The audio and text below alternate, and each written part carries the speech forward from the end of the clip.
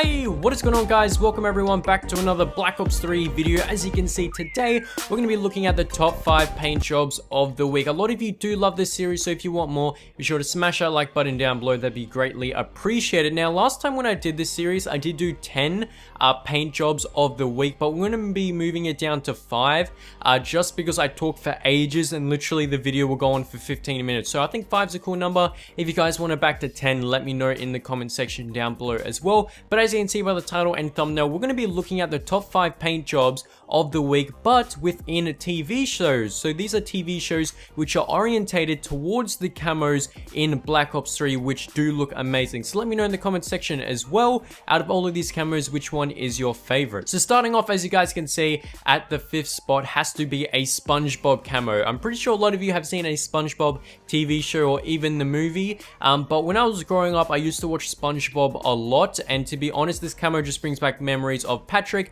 and obviously the boy SpongeBob. And to be honest, the camo looks absolutely amazing. It's super detailed uh, with Patrick's eyes and his face, especially when he opens his mouth as well. And there's SpongeBob with his eyes as well. To be honest, all of the SpongeBob camos or emblems I see are literally super detailed and they do look quite amazing as well. So SpongeBob definitely has to come in in the fifth spot. Let's head over into spot number four. I'm hoping most of you guys have seen this TV show and as you can see it is Family Guy. Family Guy is probably one of the funniest TV shows I've ever seen in my life uh, just because of Peter, Brian, Stewie, pretty much the whole family are just absolutely amazing and just funny all in all. If you've never seen it, I highly recommend because you'll be pretty much laughing for ages. I've seen every single season, including the new one, uh, which didn't come out too long ago. But to be honest, I absolutely love Family Guy. Um, the camo, as you can see, is the best one I could find. It's obviously Peter Griffin.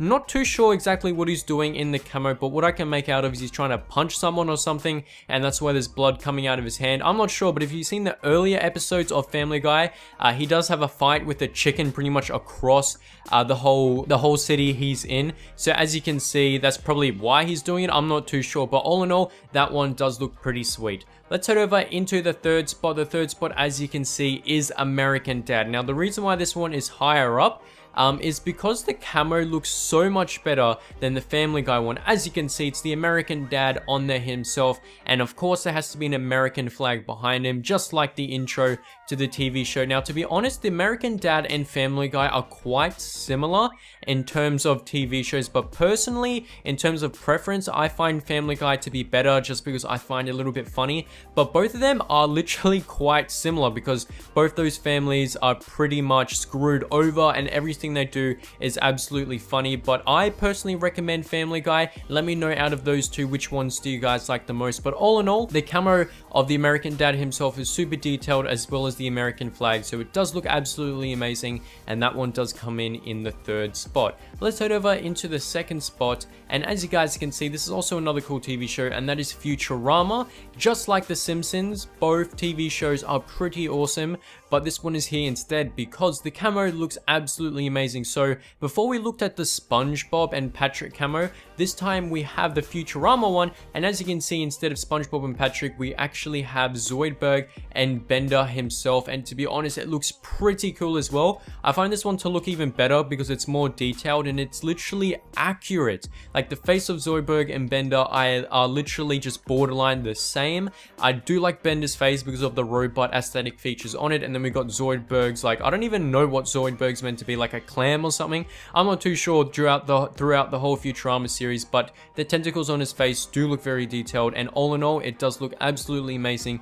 so that one definitely does have to come into the second spot. Let's head over into the first spot, and in the first spot in the top 5 paint jobs of the week was actually made by a subscriber who sent it to me on Twitter, and his name is James Haynes, and as you can see, this is making a murderer, and if I'm correct, this series is on Netflix. I haven't seen it yet. I'm not sure if I will, but what I do know about this series is that there is a murderer who is guilty of doing a murder, I'm guessing, and I'm trying to think, but I'm pretty sure the whole idea of the series is to free uh, the murderer, which his name is Avery, and um, obviously they got evidence and stuff against him, but all in all, the camo looks cool. As you can see the guy's face, if I show you guys the logo of the TV show right now, it literally looks the same. So James Haynes did an awesome job of pretty much mimicking the TV show on the camo, uh, which does look pretty cool. So as you see, it says making a murderer. Not only that, but he has another side of the Kudon. As you can see, it says free Avery, which is the main protagonist, which they're trying to free throughout the TV show,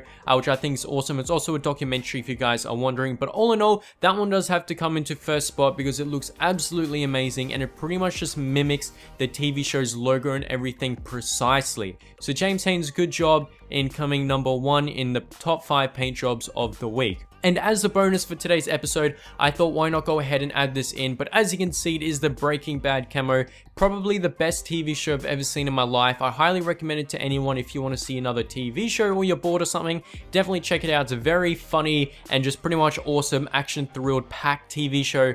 Can't add in more adjectives to that, but it is literally amazing, so I would check it out. As you can see, it's pretty much got the chemical elements BR and BA, as you can see, to make up Breaking Bad, and it looks pretty amazing because it obviously has its aesthetic colors, which is green. And all in all, that one does look pretty cool. So let me know in the comment section down below, out of all of these, which one is your favorite. To be honest, out of all of them, my favorite probably is Making a Murderer and the Breaking Bad camo. Both of them do look pretty cool. And all in all, those are the top five paint jobs of the week. So let me know, guys, in the comment section, which one is your favorite. Hopefully you've enjoyed, and I will catch you guys later. Globe out.